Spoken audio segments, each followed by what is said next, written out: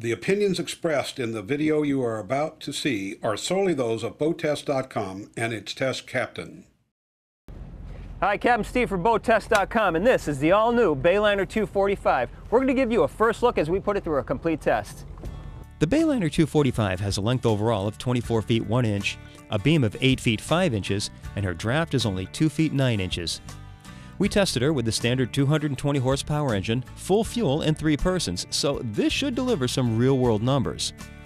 We found the 245 to have a top speed of 37.6 miles per hour, and with the throttle pulled back to a more economical 3,500 RPMs, she showed a best cruise speed of 26.1 miles per hour while burning only 9.9 gallons per hour. We also found the 245 to have a 5.5 second time to plane and a 14.4 second time to reach 30 miles per hour.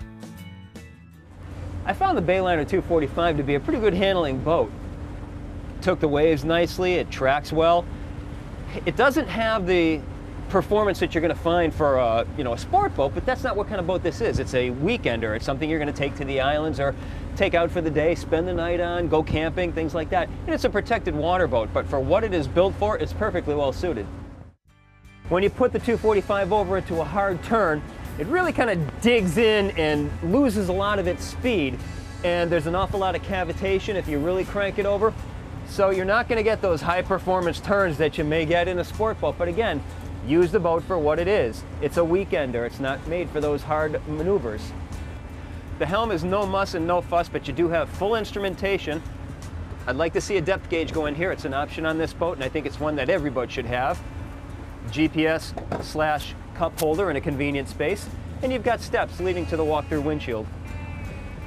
And because of the Bayliner 245's small size, I also think it would be an ideal boat to take exploring up and down places like the Intracoastal Waterway, long rivers. Go check out some of the waterfront real estate and then spend the night somewhere. It's a great boat to handle. It's a great boat behind the helm. Nice room on the observer side. The seat flips back so you can watch the action off the back of the boat. Cabin space for eating, sleeping. There's also an aft berth. It really is a nice boat.